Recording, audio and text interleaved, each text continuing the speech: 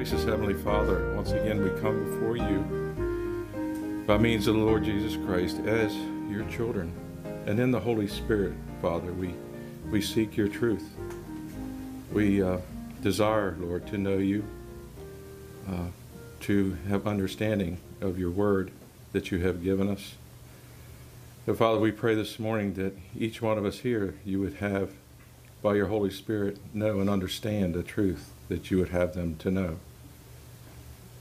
And Father, that we would be comforted, that we would be encouraged, and Father, most of all, that we would know your peace. We thank you for this time, and we we ask your presence here with us this morning, and that you be glorified. And we pray all this in Jesus' name. Amen. I have to believe that that song demonstrates what well why God has blessed us with music in the church. When you hear those words so beautifully sung and accompanied so well with the piano, um, it's not just a nice sentiment, but there's power in knowing those are the words of your Lord that He has spoken um, a comforter that He leaves with you, a peace that's not as the world gives. Do you think, have you thought just about those words? The world is offering you something, but God has given you something so much greater. We don't try to take both, but we look unto Him. Thank you, Anna and Jarrett, for your ministry to the body. Um, let's uh, open to Matthew chapter 22. And let's spend time now worshiping and the reading and preaching of His Word. Matthew chapter 22, this is, as you remember last, from last week, this is a uh, two part. It's a continuation of what we begun. It's a discussion that's still going on, and there's activities that are going to be yet going on even as we complete this week and go into the next week with the scriptural text that we are looking at. To give a good picture of the context, let's read from verse 15 through 33. But just so you can be prepared, our message is going to be from 23 to 33. But I want to get the fullness of context. So if you would uh, follow along with me, Matthew chapter 22, verse 15. Then went the Pharisees and took counsel as to how they might entangle him in his talk. And they sent out unto him their disciples, and with the Herodians, saying, Master, we know that thou art true and teach the way of God in truth, neither cares for any man, for you regards not the person of men. Tell us, therefore, what do you think? Is it lawful to give you tribute unto Caesar or not?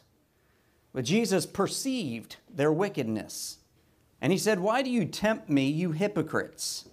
Show me the tribute money. And they brought them to him a penny. And he said unto them, Whose image is this, and whose superscription? And they said unto him, Caesar's. Then he said unto them, Render therefore unto Caesar the things which are Caesar's, and unto God the things that are God's. And when they heard these words, they marveled and left him, and they went on their way.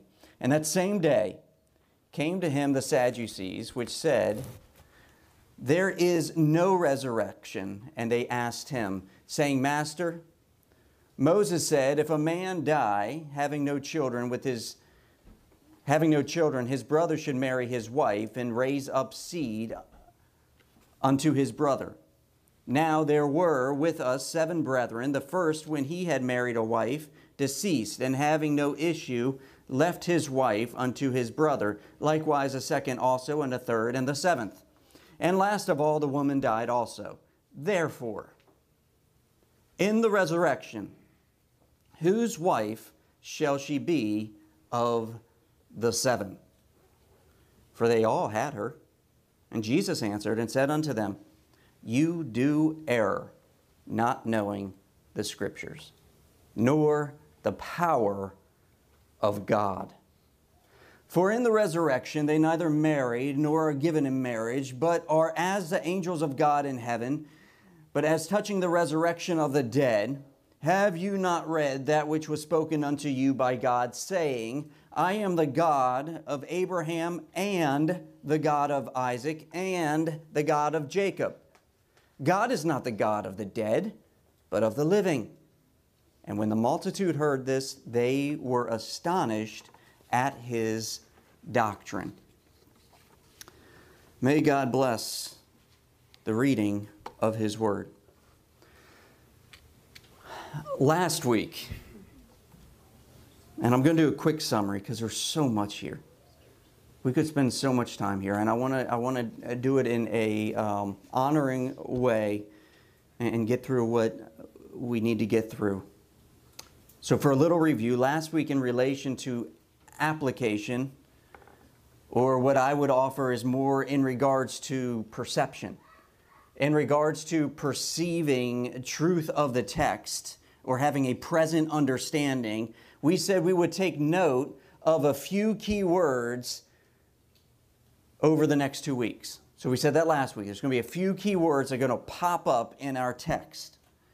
As a reminder, those words were counsel, words, understanding, and doctrine. There are a few more words, such as error and knowing, but those are going to be secondary, or a better way of saying it, they're going to serve in, in relation to those primary text. So they're, they're going to kind of serve as a emphasis or giving of understanding as to how those primary words are being used. Now, of those primary words, we first came to the word counsel and we discussed that. And what we'd said was for counsel to be good, it must be founded upon good doctrine. And if you remember the text that we just read, what was the crowd astonished at? His doctrine. So we start with counsel, and we're going to start with an astonished crowd at the doctrine of Christ. So it must be founded upon good doctrine, or rather, we went into saying a way to describe that or understand that better, perhaps, is to say it has two properties. Number one, it must be founded upon a proper understanding of the Word of God, which is good doctrine. And secondly, it must be purposed in love for truth, a desire to know truth. If you remember, disciples of the Pharisees came to Jesus not out of a desire to know truth, not out of a desire to get counsel. They saw counsel together and tried to seek a way not to know truth together, but to entrap Christ by his own words. And they came forth to do that. Then at the end of last week, we closed our observing of Christ the Lord's interaction with the Herodians and the disciples of the Pharisees by seeking to observe three things as an introduction to this week and a closing of last week. And we said between these messages, I want you to see if you can perceive or observe these three things. The first is that they, they do not properly give unto God what belongs to God in recognition of His Word, in recognition of truth, in recognition of understanding and proper perception. They don't give that to God, they seek that of themselves. Second, they lack the ability to understand the Word of God. And not recognizing God as God, they are neither able to properly understand the Word of God. This isn't that they don't read the Word of God or know the Word of God. They probably know the Word of God in relation to what it says in the Old Testament better than most, if not all, of us sitting here this morning. But they lack the ability to properly perceive the Word of God. And thus, the third thing is that they are ignorant of the power of God which means godliness as an application of everyday life makes no sense to them. So then, we could say this when one doesn't give properly to God what belongs to God, they can be found to lack or quench the ability to properly understand or perceive the Word of God and thus remain ignorant as to the power of God and not know how he is living and active in everyday life. And we see that in this text.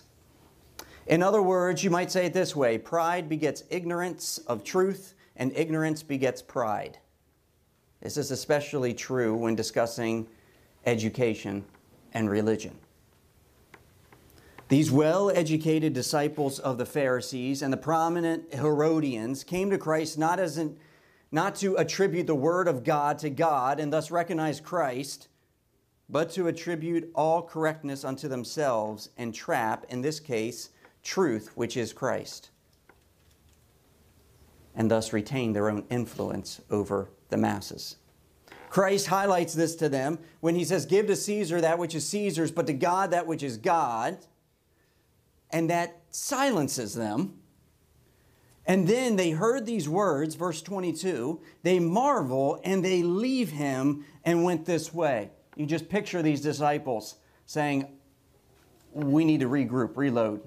He got us. That's it. We, we have no comeback for that.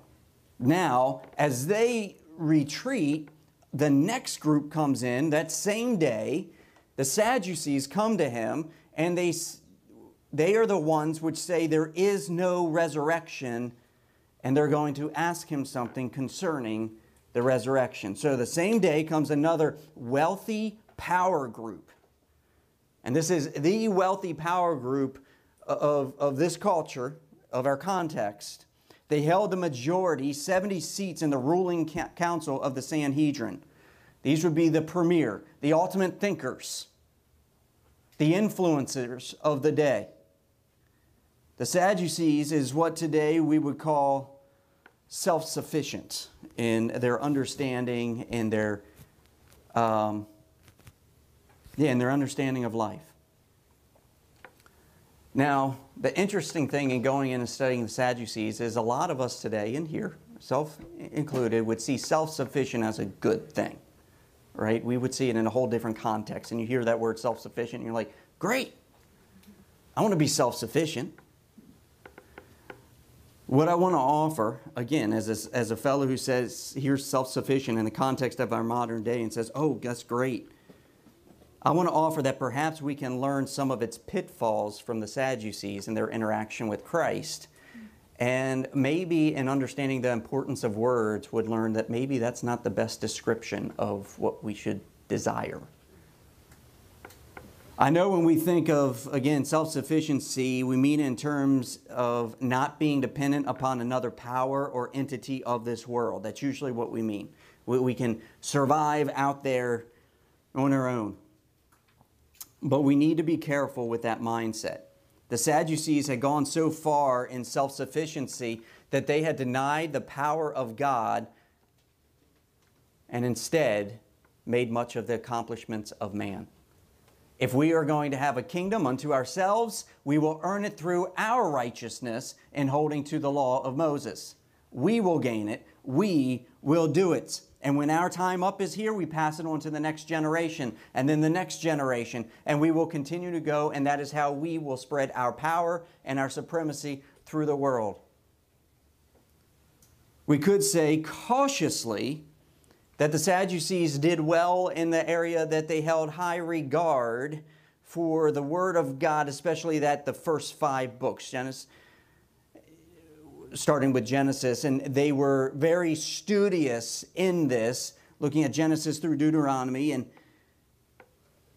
the fallacy began, however, when the Sadducees um, began to show us they don't have the ability to proper recognize what is said in those books. They were so self sufficient that even though they held to the Word of God being supreme, they denied the Word of God's involvement in everyday life. So it's supreme in the sense of a higher understanding. It's good for brownie points, right? It's a higher understanding, and we're the higher understanders, and so we're on the council. We're going to make the decisions. But in regards to everyday life, man, that's just life. And you got to be self sufficient. You got to do it. Now, I want you to think on that slowly for me.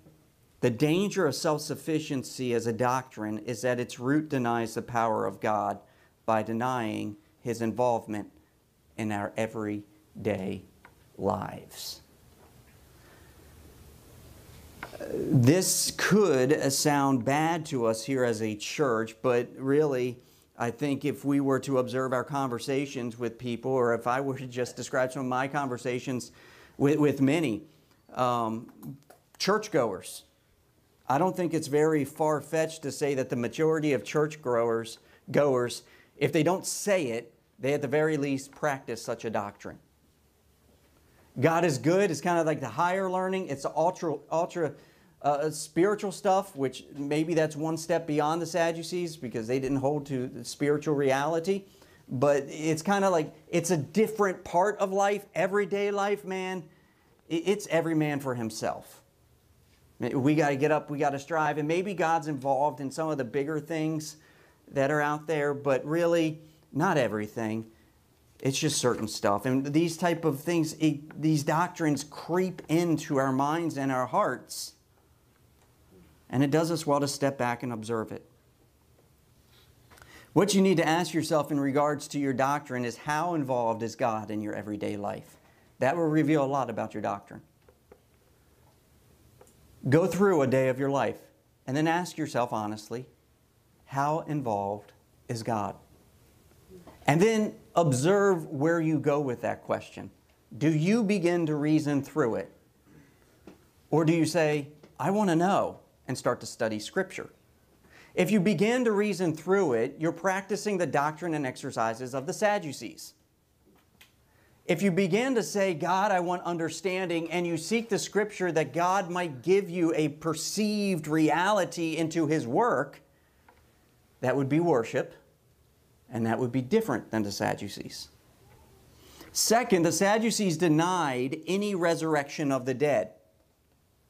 This will lead to the third, the Sadducees being, or this rather will lead to the Sadducees being strong opposers of the apostles in their teaching of the resurrection of Christ and even a future resurrection of believers. So this is going to continue on, this wrestling match of their doctrine.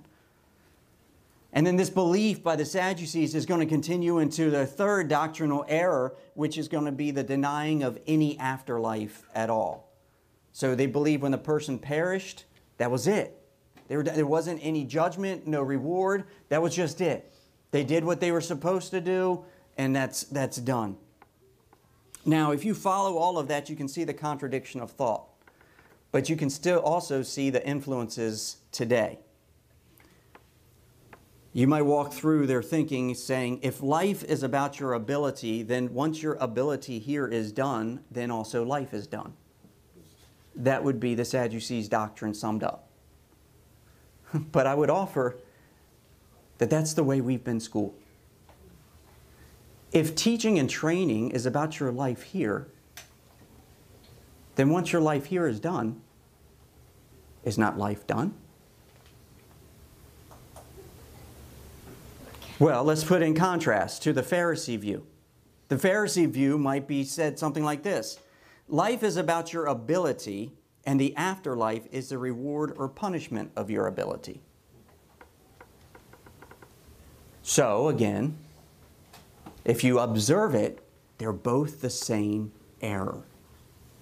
If life is about what you do here, then it's either done here or once it's done here, it's rewarded there, meaning the next step is the worship or glorification of what you did, or the punishment of what you failed to do or did incorrectly, which again shapes the doctrine, the teaching, and the moving of the masses.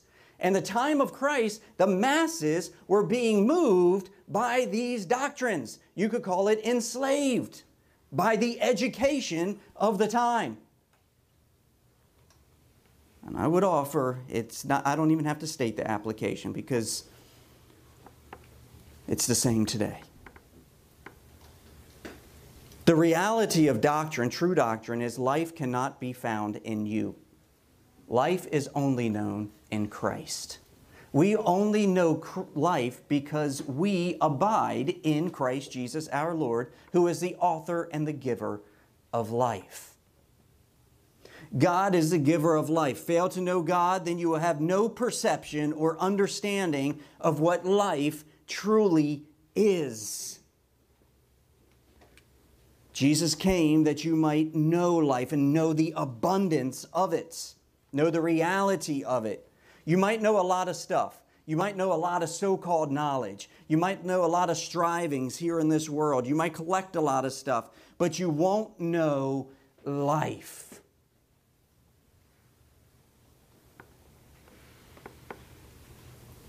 You've all heard it, right? It's one of those catchy phrases. That it's almost embarrassing, one of those sayings, but it's so catchy, everybody still uses it. No God, no life, no God, no life. K N O W and then N O, right? If you know God, you're going to know life. And you could, it is, you could say that there's truth to that here when speaking of the human understanding of life to have an actual perception of God and the truths of God, to be able to perceive the truths of God, is to be able to perceive the truths of life. But to have the inability to perceive the truths of God, or to not have the time or the effort to do that, is to not know life. So they come to him discussing life in regards to the resurrection, the bodily resurrection of life, and they're at the standpoint of not believing it and so they say, Master, Moses said, why do they say Moses said? They held high regard for what books? Those first five books, the books of the law. That's what they say. So they're using their books. Moses said, so the authority said, if a man dies, having no children, his brother shall marry his wife and raise up a seed unto his brother. Now there were with us seven brethren, and the first, when he had married a wife, deceased, and having no issue left his wife unto his brother. Likewise the second also, and the third unto the seventh. And the last of all, the woman died also. Therefore, in the resurrection, whose wife shall she be of the seven? For they all had her. Basically, what they are saying is if you follow the law of Moses, the authority, if you follow that through, you cannot logically and reasonably believe in a resurrection if you follow the law of Moses. It makes no sense. So their argument or their perception on why the idea of a bodily resurrection is foolish is given. Their strategy of argument is to come up with an example that makes the one who holds to the afterlife and the bodily resurrection look like an unreasonable, uneducated loon. That's their strategy. Is this is going to, no matter how you answer, you're just going to look foolish here. and we're going to look like we are the wise ones. So let us tell you about the law of Moses, which you gave him. All right, that's the reality. So Jesus responds, and I'm going to give three teaching points of his response. The, the first, his initial response, which you could label his, uh, perception, is the first area of how we observe Jesus' teaching. Verse 29 Jesus answered and said unto them, You do error and not know the scriptures nor the power of God. And this first thing, what Jesus perceived as they are coming to him, is he perceives the manner and the error of their coming. And he perceives two errors. And before we look at these two errors, again, about Christ our Lord, let me say this as a teacher. Christ gives us an example that in teaching, one must have a perceptive grasp not just of what they are speaking on, but in perceiving to whom they're speaking. He doesn't just say things, he perceives who's coming to him, how they are coming to him, and what is actually going on in the words that are said. Christ exercises that here just as he did with the disciples of the Pharisees, right? When they came to him, you're coming to me pretending you're something you're not. He says, You hypocrites. Why are you doing that? And then he goes on and says, I'll answer your question anyways. So it's good in recognizing uh, the placement of the student. Now, Christ is going to highlight to the Sadducees that in their self sufficiency, especially of thought and reason, they should be able to perceive or understand the answer to their question from their own scriptures. The fact that they cannot points to two errors in their educational process. Okay? So these are the educated who are educating the others. The huge moment here that you have to recognize is that the two errors that are highlighted by Christ are in regards to the education and the ability to understand in relation or directed to the wealthy, powerful, political, religious leaders of this time. He is speaking to the leader, not just the ones who, who teach the subjects, but the ones who say how things are done. And he says, You don't know the scriptures, and you don't know the power of God. You don't know the scriptures, and you don't know the power of God. It doesn't say that you don't claim the scriptures to be the word of God, but you don't know the scriptures. The word for knowing here is the active perceiving of something to behold it. It is to observe it. Their inability to do this has led them to error. And that's one of those subwords. This word error is equivalent to saying you're walking the road of heretics. It's a powerful word. The word for error here is to deceive, to cause to go astray, to lead away from truth, to practice heresy. So you practice heresy because you don't know the scriptures and you don't understand the power of God. So I go back to the question how involved is God in your everyday life? well, there's some things, but not other things. I'm not saying this, but I feel like it wouldn't be too far of a stretch from the text to say, Jesus would say, You're walking down the road of heresy, my friend, because of not knowing the scriptures. And because of that, you don't know the power of God in everyday life. And because of that, you deny the resurrection and you deny the presence of everlasting life. The not knowing here is, again, to not know by perception. It's to not even be able to perceive or discern or discover, unable to understand or sense as one is able to understand or sense the cold versus the warmth. Your, your nerves endings are gone. You can't, you can't sense things. So, they lack, you could say, they lack the medium necessary to understand the scripture. Now, that should be encouraging to you because when Christ ascended into heaven, he said, I will send you a helper. And that helper is what helps to give us understanding into the text of Scripture. Now, here's a little address that uh, perhaps um, I could say is to you, the present day church congregation. I'm speaking to believers. I believe that this is a fair exhortation and is affirmed throughout Scripture, but especially here in Christ's teaching. And it would be this Believer, you must believe that the starting point of all education, of your learning, of your acquiring knowledge, walking through, uh, no matter what age, the starting point of all education is the knowledge of God through the Scriptures. As the Scriptures say, the fear of the Lord is the beginning of all knowledge the ability to perceive or understand the life and power of the scriptures in, through, and beyond everyday life is the aim of education. That knowledge of scriptures is not the knowledge that we find a verse faster than anyone else. That's not the knowledge I'm thinking of. That's the type of knowledge that leads us to the her- heretic statements such as, it's good to know the Bible, but that doesn't put bread on the table. Right? That would be a Sadducee type statement. That's not the perception that Jesus is talking about. Neither is the knowledge the knowledge that can perform good deeds better than anyone else.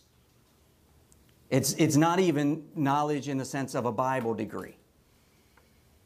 The knowledge that we're talking about is one that perceives the living, active work, nature, and character of Almighty God as testified to in the Scriptures, present and active today, and yet revealing itself in the coming future.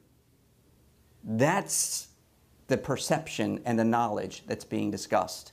That is when you are, as a parent, discussing it with your children. I don't want them to know the order of the books of the Bible. I mean, that's good, it's fun. But I want them to know God.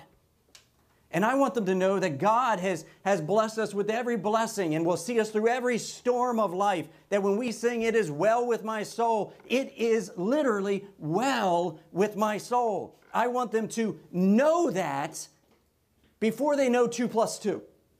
If they live this life and my kids are laughed at because they never know 2 plus 2, and I can say that because they all know that already.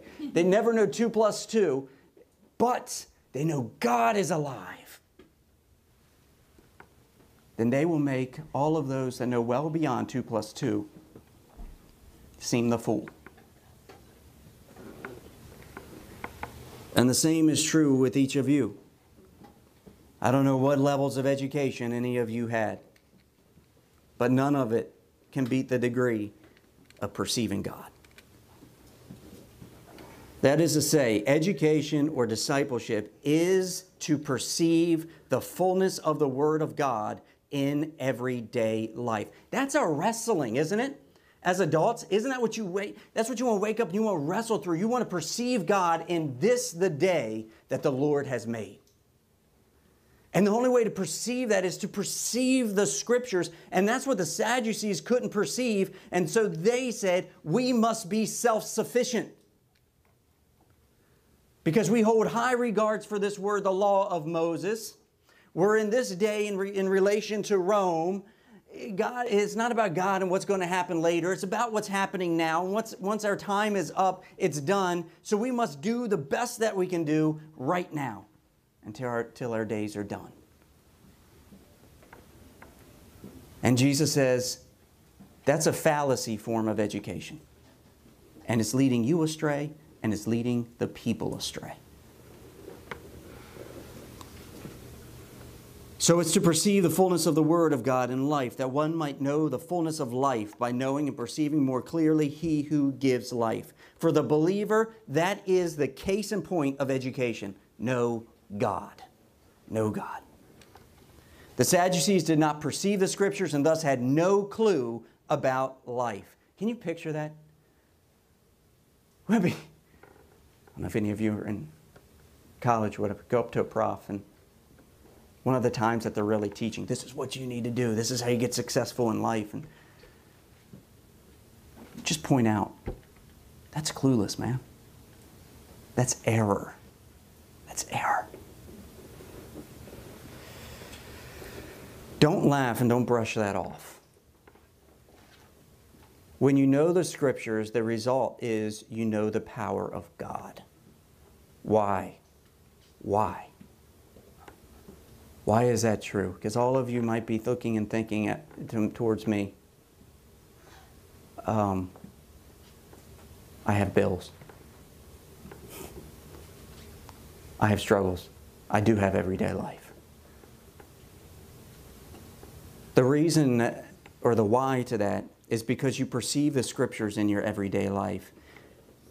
You observe its working unto eternal life. You see in the struggles, you see in, in the every parts of walk as you're observing the scriptures and as your heart and mind are tur- turned towards what is God's, meaning life is God's and giving unto God what is God's, you begin to see his hand in all of those things.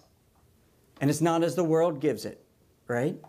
It's not the same thing. The world, it's endless toil.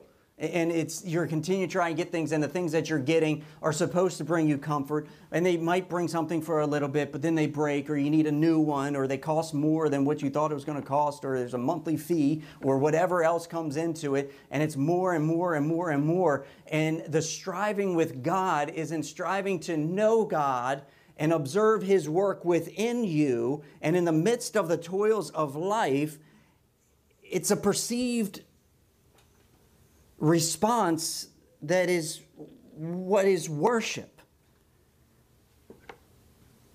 And it's amazing, and there's no real way to describe it to the student other than to get the student to read the text and pray unto God for the heart of a disciple. You perceive the scriptures in your everyday life and you observe its working unto eternal life. You have what we even spoke of this past Monday as a threefold remembrance. And I've spoken to of it on other numerous occasions.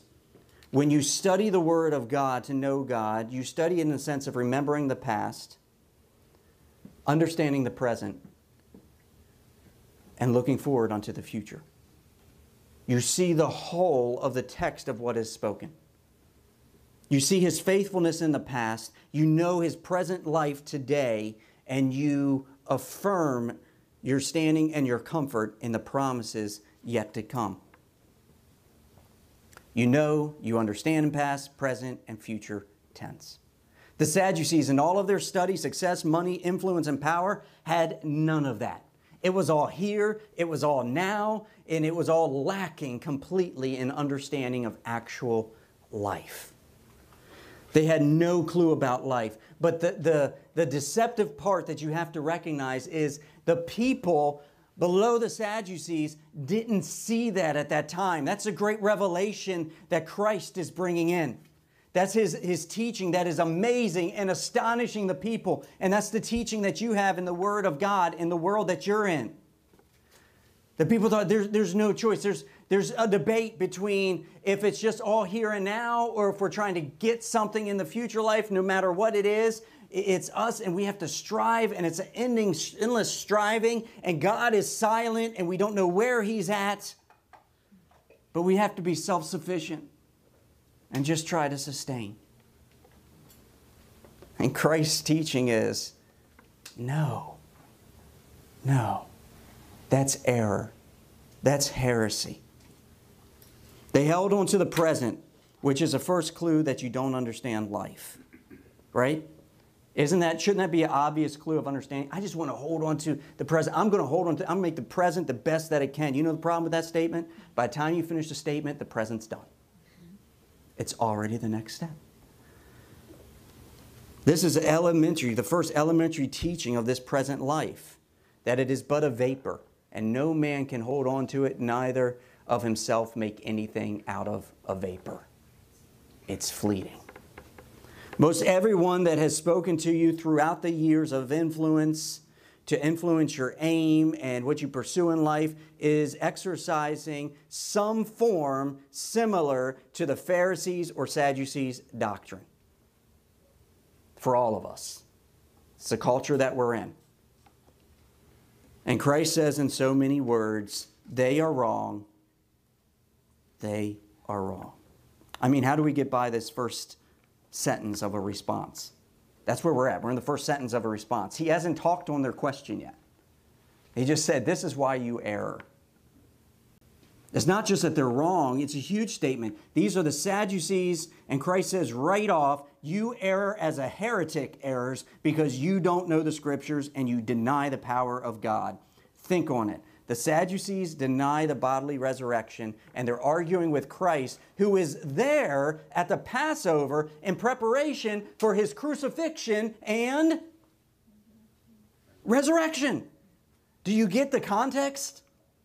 There's no, there's, this resurrection is just foolishness. He could just say, well, uh, give me about so many, a week or so, and we'll talk about it then, right? When I walk out of the grave. The context here is he is preparing for the great victory, and the Sadducees are in front of him denying. They're denying the power of God. Can you just imagine the, the, the power within Christ, the, the, the emotion right there? That's, he is standing on the power of God. He is, that is the power with which he is going forth. And that word power there is not just the physical, but it's also the moral ability which resides in God. So he is standing upon the ability of God and the character of God to do what God has said. And the heresy is that they are twisting the word of God for their own intent, and in that, insulting not only the strength of God, but the character of God. And that's why he says it's a heretic type error. And so the Sadducees' ignor- ignorance or failed ability to perceive the scriptures meant that they could not comprehend God as having power over life and death. They couldn't see it. And so Christ moves to the second point of his teaching, and you could label this point correction or clarification. But I think I like correction here. So you have in the first point perception and then correction. And to do this, Christ our Lord, in saying, How have you, the Sadducees, not perceived this, moves on to instruct or offer understanding that they should have already had from Scripture Verse 30 For in the resurrection they neither marry, that's the men, nor are given in marriage, that's the woman, but are as angels of God in heaven. I don't know how to describe the meaning of that there. They are as the angels of God in heaven, as a state of them. Sure, verse 31, that would be a good study perhaps. But as touching the resurrection of the dead, have you not read that which was spoken unto you by God saying. Now, what you should know about the Sadducees here that he's speaking to, saying, Have you not read? is to be a rabbi, you had to memorize the first five books of the Bible. To memorize those first five books, you had to have read them. Right? So he's, he's basically saying, How do you not, you did not perceive this? Again, the error, it doesn't matter if you memorize them you have not accepted nor perceived them in the sense that it is the word of Almighty God. This is the biggest struggle. You know why it's a struggle for us in the church? Because we were taught that David and Goliath was a children's story. We were taught that Noah's Ark was a children's story. We were taught even that the life of Christ was cute in the way that he rescued the disciples from the storm. Isn't that comforting to the child? We weren't taught that that is life that that same Christ is your Lord and the one that you abide in more intimately than the disciples did. More intimately, you will have a greater power, greater work will I do in you. Have you ever thought about that? So, they memorized the first five books, but they didn't get it. Christ will remind them of what they say and then what he's going to do is he's going to demonstrate the power of proper deduction from the Word of God. And he's going to do that in his third teaching point, which you could title perception, proper perception. It's a teaching in deduction. Have you not read? Or just get the full thing. But as touching the resurrection of the dead, have you not read that which was spoken to you by God, saying, in Exodus 3, I am the God of Abraham and the God of Isaac and the God of Jacob. God is not the God of the dead, but the God of the living. So, deduction if he is the God of Abraham, the God of Isaac, and the God of Jacob, present tense, is he not therefore the God of the living and not the God of the dead? How can you be the God of something that ceases to exist? You're trying to deny a resurrection using these circular reasoning through the words of Moses. But did God not himself make this statement? And don't you have to therefore go to the conclusion of the resurrection? Again, the primary intent of this statement Abraham, Isaac, and Jacob, they're not yet resurrected. They're alive, but they're not yet resurrected. The context is the resurrection from the dead. Christ is saying that God said, as Christ is now quoting from Exodus 3, that he is the God of Abraham and Isaac and Jacob, an ascending description, and God is not the God of the dead, but the living. And that, but of the living, is a statement which should, it should give you the perception that the resurrection is coming. Just as if you read Job and you hear Job confess to knowing that in the latter days his flesh will see God, should have given them the perception of a bodily resurrection. Thus, The thrust of this teaching is that they should have perceived already from the Old Testament scriptures that the bodily resurrection from the dead is to be anticipated. They should have started from that premise, not in arguing that, you know, how could it make sense? And if it doesn't make sense, it can't be true. They should have started from the premise that because of what God said, it must be true. This teaching point is again demonstrating Christ's wisdom in knowing where the Sadducees were at and what their question was purposed in. Their question was not purposed in knowing about resurrection marriages, but in showing the resurrection as foolish. And therefore, Christ demonstrates their inability to perceive or comprehend the very part of Scripture that they so proudly claim to have memorized and be experts in. And when the multitude heard this, they were astonished at his, his being Christ, doctrine, his teaching. The multitude here is a crowd that's gathering during Passover.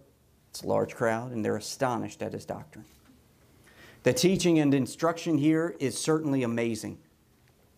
Christ has instructed in matters of policy, political, stewardship, worship, marriage, life, and the resurrection, all by answering these two questions. All of this has taken place in response to these leaders who are those who are seen as the great minds, the power of the day, the wealthy of the day, the teachers and influencers of the time. And just by means of exhortation, what we have observed is firstly, if we are to be those who seek good counsel, instruction, and teaching, then we must found our teaching upon the Word of God and be lovers of truth. We have also highlighted together in these past two weeks that we err when we don't give properly to God which, that which belongs to God, namely, all things. And when we do that, we tend to quench and even lack the ability to properly understand the Word of God. And the result of that is we remain ignorant of the power of God. And the result of that is we come up with some form of doctrine that's a Christian version of self sufficiency and denying the power of God. My encouragement for you in closing this morning. Proper discipleship, education, exercising of good doctrine is that which leads the disciple to recognize and nurture the ability to perceive the truth and power of God in the Holy Scriptures and thus recognize the reality of everlasting life and the coming bodily resurrection.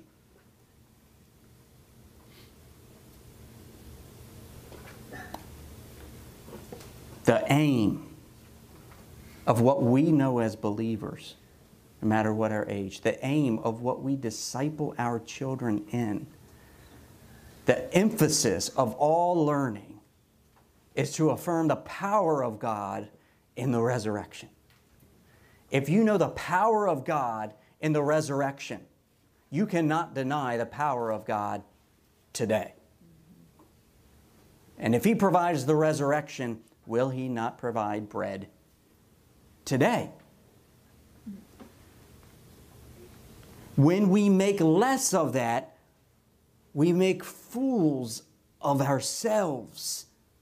Oh, the wrestling true, the wrestling daily. We are only wise by the grace of God, which demonstrates unto us in His wisdom the goodness of the counsel of God.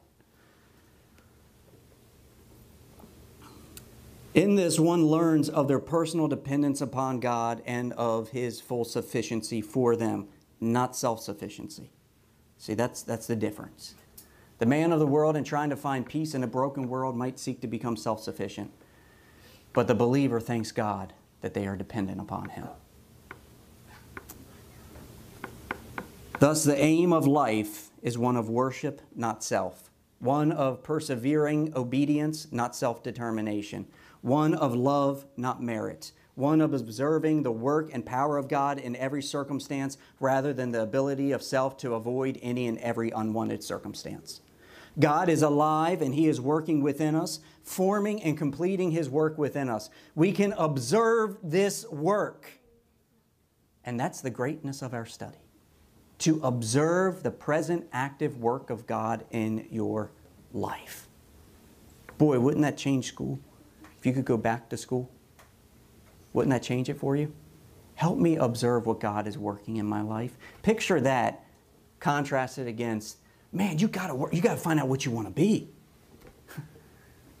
you gotta seek what you want to be. You gotta know what you want to be. Your time's running out because you're gonna have to really commit to this if you want to obtain it and get it. But the believer says, no. Christ said, I will complete the work that I have already begun in you. I will be faithful to complete it. Man, the child of God ought to ask, what is that work? I want to see it. I want to know what you're doing in me. Bring it to life so that all glory and honor can be given unto you right now and forevermore. That's the, that's, that's the glorious opportunity of the believer.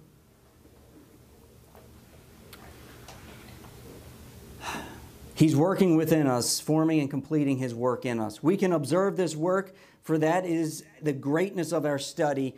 And what you can do is here is take wherever you are, look at all of your toils in life. And for a moment, just notice that they're all toils. It's all toiling. Don't label something different, it's toil. It is what it is. It has to do with the fall. We toil. Now look at God. It's amazing if you do that, even in the midst of toil, how you will see His power when instead of worshiping your striving, success, and goals, you see them as a vapor and you stand amazed at God and how He's orchestrating eternity. This struck me in the most infant stages of any understanding of it in those days after my brother's homegoing. In going through and completing some trying to complete the last few college papers and seeking out, and also it was like a switch went off. God, I want to know you as, re- I want to actually perceive you. I want to really perceive who you are and what you are doing. Jesus stands before the world leaders of his day knowing his life was purposed in what that bodily resurrection is going to mean and the joyous glory that lies beyond it. That's where Jesus is standing. And that equips him. That truth, that understanding, with such power and wisdom that the people are amazed. We all say, God, wow, what a God of the Old Testament. Look how he provided. Or we say, God, he overcame death and, and now we overcome in the resurrection. But what about today? What do we say today? It's usually something like this Man, the world's a mess. Where's God? it doesn't look good. I got to do this, I got to do that. What in Scripture are we not perceiving correctly? That makes us okay with thinking that we are doing today because for some reason God isn't as involved in our everyday lives as He once was? What is it? What is it that makes our minds okay with being so called self sufficient Christians? It's an oxymoron. And it's exactly what I'm afraid it makes me when I look at life that way. You know what moron means? It means notably lacking in good judgment. And when we think that we are self sufficient Christians, it's kind of a moron statement. It is lacking in good judgment. Good judgment would say, we are fully dependent on God. Yes, holy, set apart, out of the world, right? Or not of the world, set apart from that, but dependent on God. I struggle. I mean, I really wrestle with this, beloved to hold on to this and to grasp a good perception of it. To understand the bodily res- resurrection, to simply know that Christ was resurrected, to be able to perceive that, that Jesus is the Christ, crucified and resurrected, ascended to the right hand of the Father, and sent the Holy Spirit as our helper, and is coming again for all of his beloved, that means you have the ability to perceive life and true life and defeat it. If you know that is true, that means you have been given the ability through the Spirit of God to perceive that truth and thus to perceive the deepest truths of life, even today. If you know that Christ was victorious in his resurrection and that your resurrection is certain in Christ, then today you must know the power of God over life and death. Therefore, spend today in the light of his word that you might perceive his power. Get educated so that you do perceive it, so that you do see it. Lead your children in such a perceptive life. Let them see that this is their Father's world, that it's well with your soul, that Christ has brought us peace, His commandments are good, His love is true, He's calling our name, and thus we will sing hallelujah on the great morning and fly away to be present with Him evermore. That is our life, our hope, our preparation, our education, our teaching, our training, and everything involved therein. We are a community like no other. Nobody else in the world, no power, no institution, no billionaire has understanding of true life except for you, the believer. But man, they're trying to push their empty promises on you. Step in front of your children and say, Not here. It's time to say, As for me and my house, not us we will worship God. He's enough. Nobody else in the world has it. Do you know what that means? That means nobody else has the same aim, purpose, education, walk, disciplines as a believer because all of this is for you and is sourced in the living, active Word of God. The present power of God and His working in your current life right now, sitting here. God Almighty working in you. You are the light of the world. Teach it to your children. Live it, the light of truth. God's alive, and we shall all behold his glory. Let us live his word today and know his power every day that we walk. Amen. Let's pray. Heavenly Father, I do pray that you encourage these, your people. I thank you for it. God, refresh them and renew them as they have been through yet another week of walking through a world calling their name. May they hear louder than that your calling. May they know and understand your promises, your truths, and may they rest in them. Again, we ask you remove the words of this preacher, and may your spirit teach this your congregation. Lead them correctly, I do ask, into your wonderful peace and glorious truth. We pray all this by means of Jesus our Lord. Amen.